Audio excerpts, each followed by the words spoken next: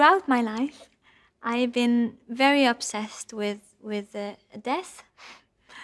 We. All my life, I've really liked syrup.